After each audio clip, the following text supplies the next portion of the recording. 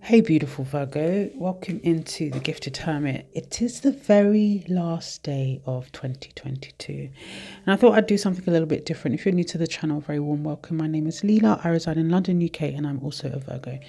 So I asked Tarot, what, what should we take as lessons? What do we need to learn from 2022? And we had the Nine of Swords as the first card, Virgo. And I kind of get this feeling of you know that mindset, you know, when Virgo overthinks.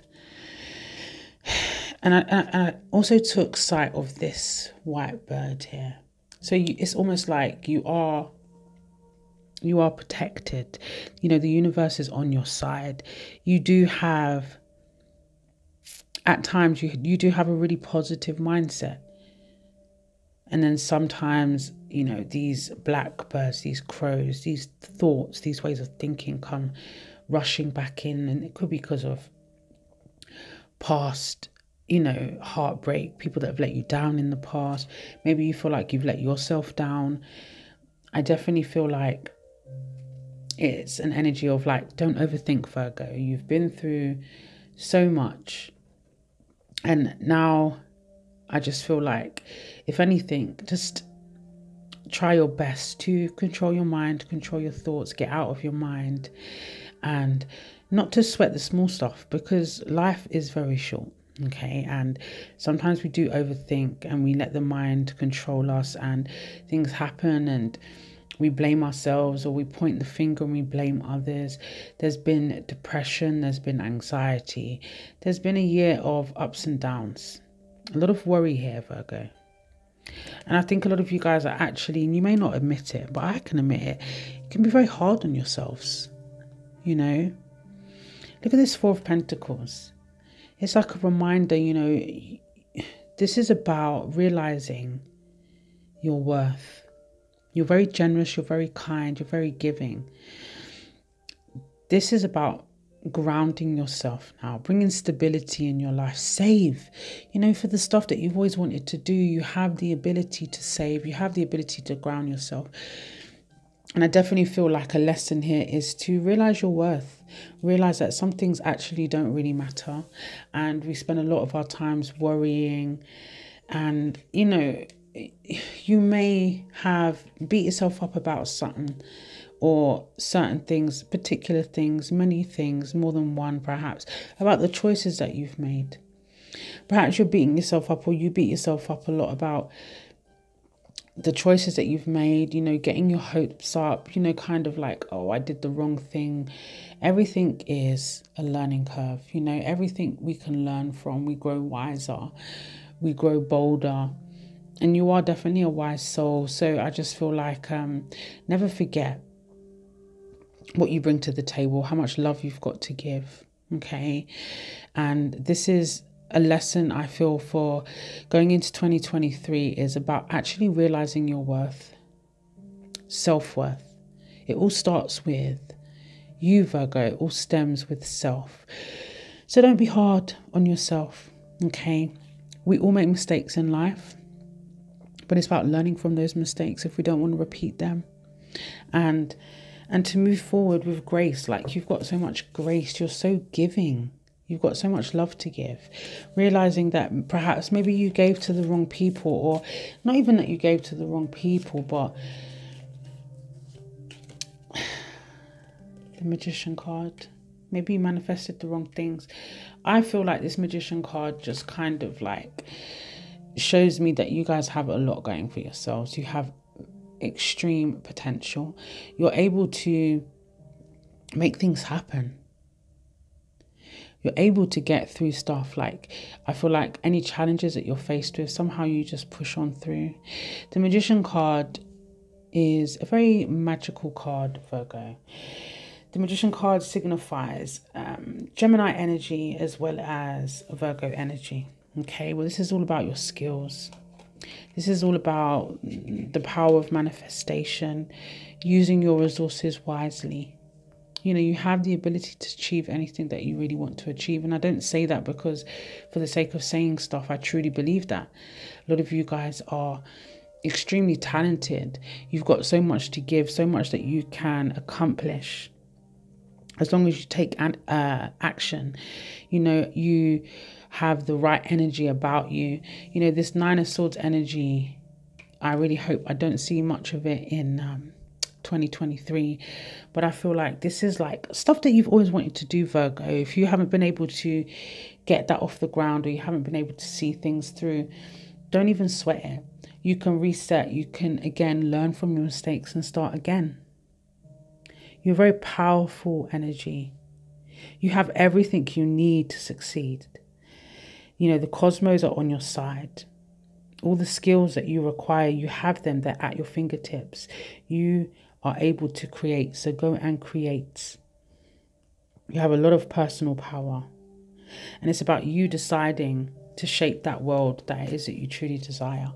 Now, maybe some of you guys think that I'm waffling on, but um, I'm trying to just uh, guide my Virgos. You know, what else are the lessons for 2022 that we should take? What lessons should we take for 2022? The Three of Pentacles and the Moon card. Again, I just get this energy. You know, what makes you think that you're not good enough? What makes you think that what you bring to the table is not good enough? We have a lot of subconscious energy here, a lot of things deep down in the core of you that need to be brought to the surface. When you bring them to the surface, you can kind of uh, see them clearly, you can understand them better. Don't suppress it. And um, work on it. Three of Pentacles shows me that you are a valued team member. You know, whether that's your family, your workforce, you have a lot to bring to the table. You are able to manifest things. You are able to get better. You're able to build something, not only for you and your family, but for generations to come. I feel like there's a lot here that um, needs to come to the surface. It's not about suppressing your emotions, okay? What else do we have as lessons that we should take from 2022? Seven of Swords. Seven of Swords can talk about betrayal, can talk about deceived energy. It can also talk about lying to yourself or people lying to you. I feel if we're talking about us on the crust of it, Virgo, perhaps some of us have lied to ourselves, you know, but out of fear. Maybe we do it on default in order to not see stuff for what it is, you know. Sometimes we can paint a picture in our mind and it's really not that. I definitely feel like um, you have to be strategic. You have to be logical. You have to use your logic wisely. You want something in life, go and get it. Sometimes we don't even know that we're doing it. We do stuff in a selfish way. And I'm not talking about just Virgos, I'm talking about humans as a whole. You know, some people in life, they, they just take, take, take what they want, take what they want. That's not you.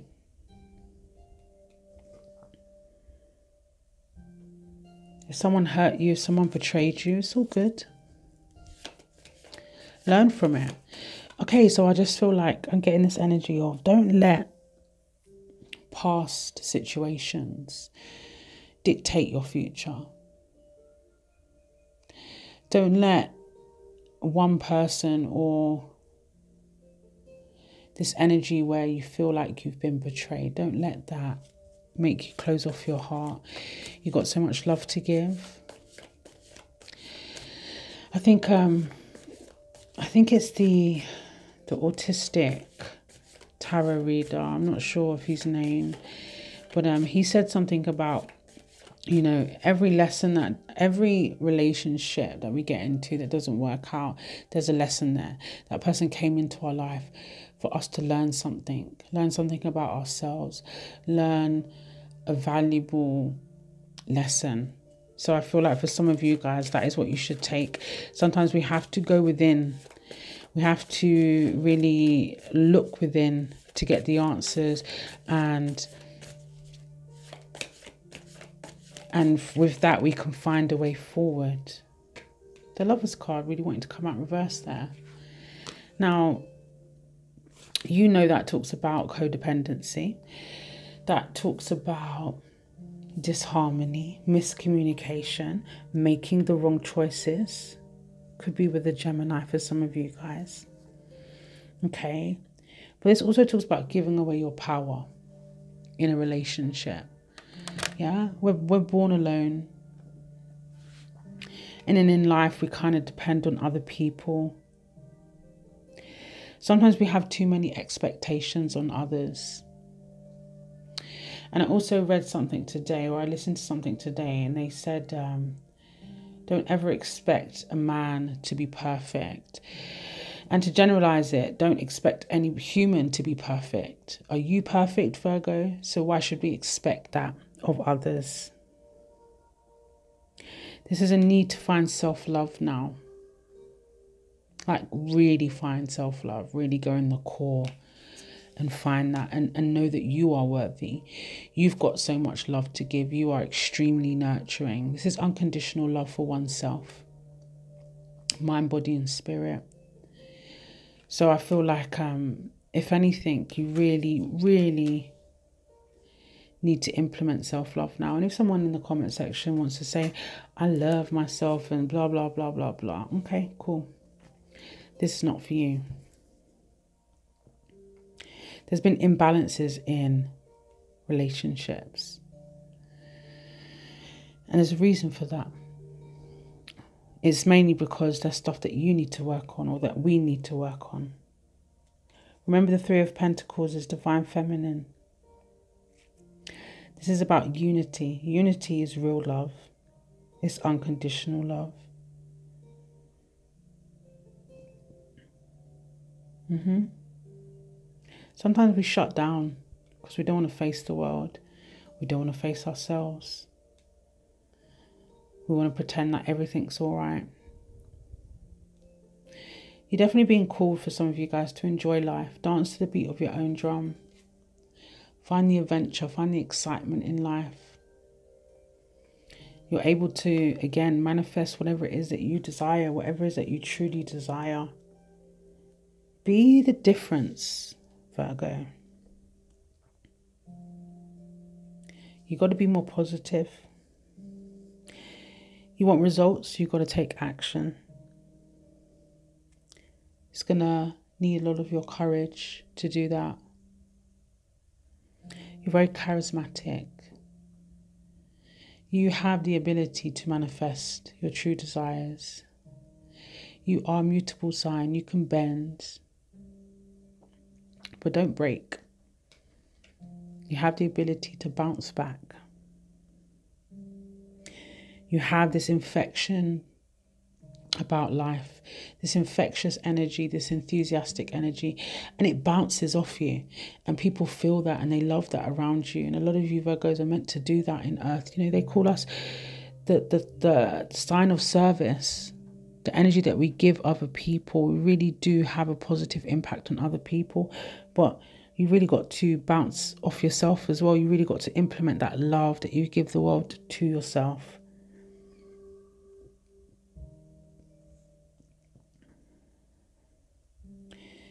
This is about freedom. This is about shifting your reality to match your desires.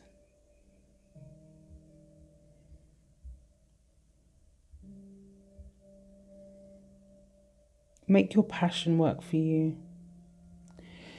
Dance.